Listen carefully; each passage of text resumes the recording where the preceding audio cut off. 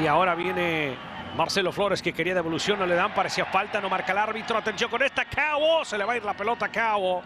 Llega Cabo con la potencia legal, hombro a hombro, pase de la muerte. ¡Gol! ¡Gol!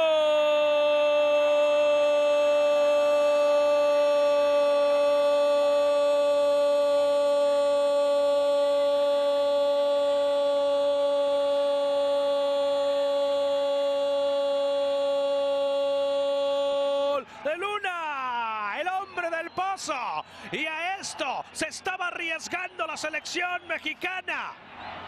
Que por ahora, sí, es temprano, pero por ahora le da vida a la verde amarela, don Enrique Borja. Así como el equipo mexicano en el primer tiempo a los seis minutos anotaba el gol, prácticamente al mismo tiempo del segundo, Kate Colwell hace un choque perfectamente legal, levanta la cabeza, se la toca al homónimo de ese gran artista mexicano Diego Luna y aquí anota un muy buen gol y para empatar este partido.